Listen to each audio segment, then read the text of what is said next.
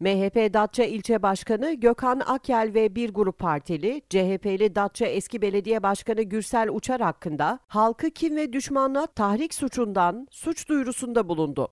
Akyel, suç duyurusunun ardından adliye çıkışında yaptığı açıklamada hem MHP il başkanlığı adına hem de şahsi olarak eski başkandan şikayetçi olduklarını ifade etti.